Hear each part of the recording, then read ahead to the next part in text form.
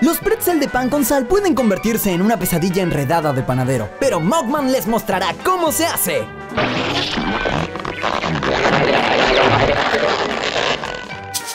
Y como siempre digo, el ingrediente secreto es la sal. Ese es el secreto.